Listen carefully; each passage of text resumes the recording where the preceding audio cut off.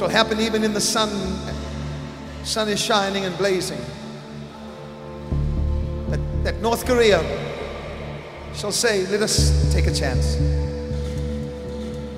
The Spirit of God said that it's too late. For you see, America, you have thought about the possibility of this attack. But I've already formed the gang for the downfall of Kim. It shall not have to be the United States that fights, it shall be inside.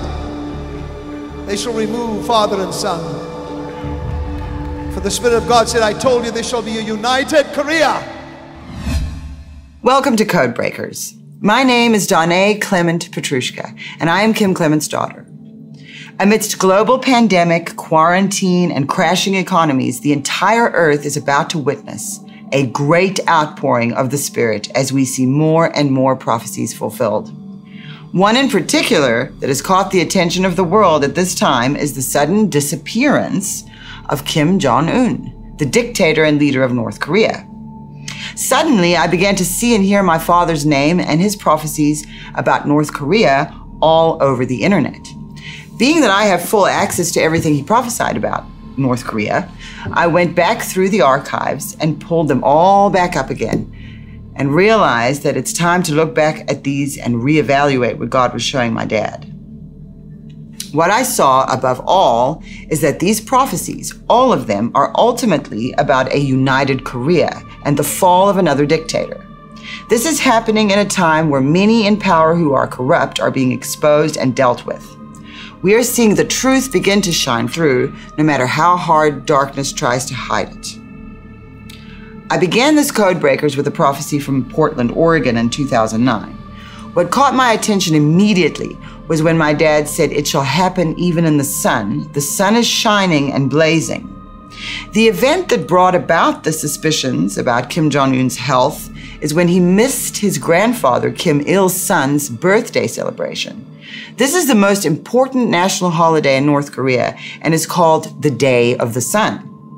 My dad saw that something would happen even in the sun and that North Korea would say, let us take a chance. Knowing that in the past, North Korea has hidden and lied about the deaths of their leaders. In, in the case of Kim Jong un's father, Kim Jong il, it took them almost two years before they admitted that he had died. So, in looking at this, knowing it would be considered blasphemous in North Korea to miss such an important event, why would Kim Jong un not attend? Let's have a look at what my dad prophesied on April 13th and 14th of 2012 from Nashville, Tennessee. Your children shall know that this is that time, says the Lord. Look to the month of May and then look to the months of October, and then look, says the Lord, you will enter in and say, What has happened to the tyrants? What has happened to them in North Korea? What has happened to those that have said, We will raise up a, a, a generation of people that will not pronounce the name of God properly? God says, They shall pronounce my name, every one of them. Jireh, they shall say Shalom. They shall say every name. They shall say Nissi. They shall say every name of God. And as they say it, I will pour out of my spirit upon the musicians and upon the authors and upon the poets. God said, You are entering in beyond the veil, says the Lord. The Spirit of God says, Look at Korea, the miserable defied the nations of the earth. And God says, You think I cannot dethrone you? In North Korea, keep your eye open, God says. Before the, the summer months, you will say, Look what's happening in North Korea. And this shall be a sign to you that I am causing leaders that have wicked intentions to be brought down. So, who will lead this nation? Who shall I place at the helm? God said, I've chosen myself. Yes, I've chosen myself. I, the Lord, will change the hearts of the people in this nation. They will be declared, be declared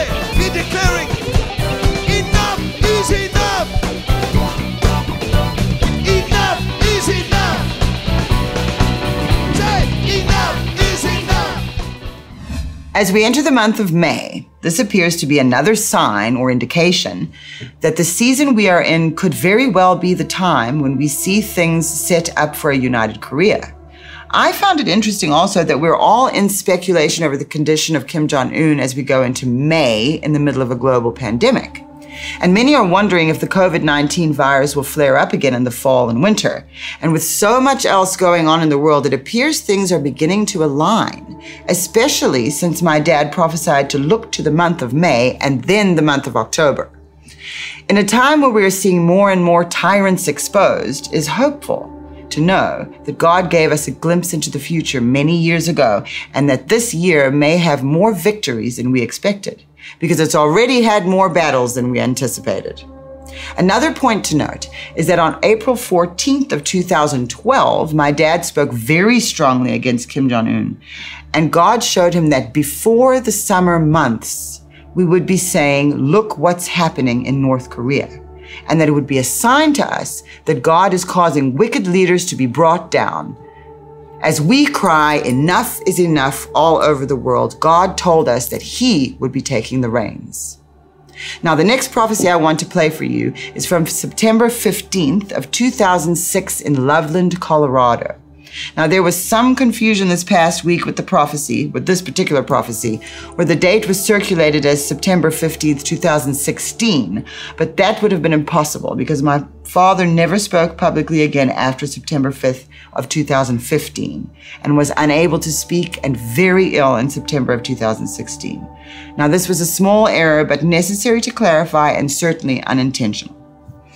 Regardless, this is a powerful word from God. So let's watch it now. Great favor has been granted at this time. And God said, A sign shall be this. Two signs that I will give you. One shall be the death of a leader who shall rapidly deteriorate in Korea. For God said, I will take both north and south and make it one. Kim, your days are numbered says the Lord. I'm speaking of the Prime Minister of North Korea. God said, Enough is enough. I want a sound to come. And God said, I will do it. But the other shall be the stepping down of a Prime Minister of the Lion of the nation of Great Britain. For when he does this, is the Lord, it shall be a sign not because he stepped down, a sign that something shall advance. Something shall advance out of Great Britain. Something shall advance, says the Spirit of God, from the United States. As we've already noted, it appears that something is wrong with Kim Jong un. With all of the suspicions as the ruler of North Korea has disappeared amidst speculations that he is dead or dying, perhaps in a vegetative state, it is also interesting to note that the Prime Minister of Great Britain, Theresa May, resigned her position on July 24th of 2019. Are these the two signs my dad was seeing back in 2006? My only reservation is that when he prophesied about the Prime Minister of Great Britain stepping down, he said he, not she. So I think this is something we should keep our eyes on and pray about. The headline that got my attention concerning, concerning Kim Jong un that I saw everywhere this past week is that he is a vegetable in a vegetative state. And I remembered God showing my, my father that on April 4th of 2009. So let's watch that clip now. South Korea, North Korea shall become one, says the Lord. North Korea, your president is dead. He is already dead. I've already written now on the wall, many, many, God said, Your days are numbered. You have been counted in the balances. Therefore, Kim, it is now time now for you to face this that you have done has been iniquitous. You are no longer alive. You are a vegetable. You are, de- you are brain dead. And God said, because of that, I will cause that to bring about unity in South and North Korea. And the greatest move of the Spirit shall come from there. That was a very special day in my dad's ministry and life. It was on that day that he had a vision of Christ wearing a mantle in his prayer time and wore the mantle. My dad wore the mantle for the first time. And from that day on, he wore a mantle every day for the rest of his life. And again, the prophecies about North Korea all say that there will be a united Korea. So that is what we pray for. We pray for the people of North Korea who have suffered under this cloud of separation and deceit, and that God can bring about unity in Korea so that His light will shine from there again. Now, I want you to see what God showed my father on New Year's Eve going into 2015. Putin, you have insulted me, says the Spirit of God. Little Kim, not me. You have offended me. You shall not live like your father lived. I shall not allow the corruption that has been in North Korea to continue. I have told the earth there shall be a united Korea.